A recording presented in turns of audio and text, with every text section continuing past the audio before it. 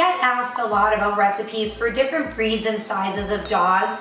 Every breed and dog size has their own unique nutritional needs based on the breed's size, activity level, different health conditions that may go along with that breed that are more common with that breed. So it really, it depends on the breed of the dog, the size of the dog, but also every dog has nutritional needs that may vary. You never have like a typical dog that's just 100% the average dog for that breed or that size.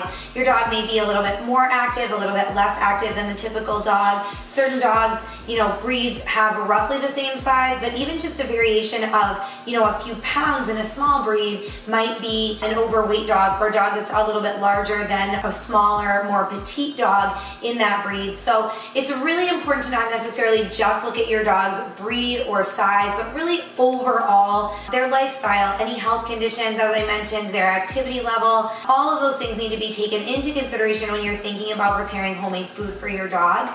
The best place to start is to have a discussion with your veterinarian or a trained canine nutritionist and they can help you to formulate some different recipes that are going to meet your dog's unique nutritional needs.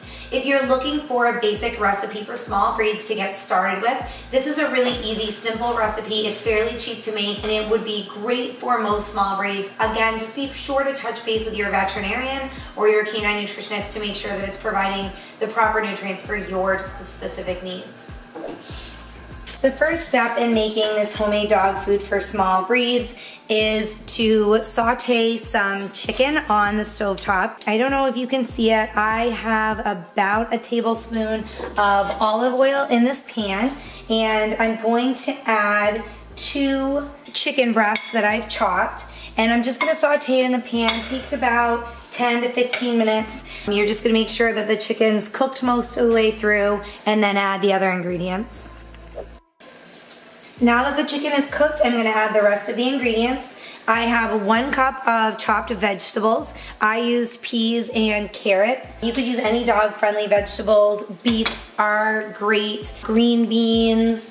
You could even use some fruits instead if you'd prefer to use apples or blueberries. Any kind of dog-friendly fruits and vegetables would work. I'm also gonna add two cups of chicken broth and I'm adding half a cup of rolled oats. That's the last ingredient. So now I'm going to just stir this and allow it to simmer for about 10 more minutes and the food will be finished. For more information on the nutritional value as well as the serving guidelines, you can click the link below the video. I recommend feeding about a quarter of a cup for every 10 pounds of body weight and that recommendation is for two servings a day. So if your dog weighed 10 pounds, they'd eat a quarter of a cup in the morning and about a quarter of a cup in the evening. Keep in mind that's just a recommendation. Dogs that have more higher energy, that are more active, may need more calories, while other dogs that are a little bit lazier might not need as many calories. So the best thing to do if you wanna use this recipe for your small breed dog is to discuss the change in diet with your veterinarian or a canine nutritionist. They can help you make that change and decide if this is gonna meet your dog's nutritional needs and the correct serving size. So again, click the link below the video. You can get the printable recipe and all of the nutritional and serving information there. Thanks for watching this recipe video.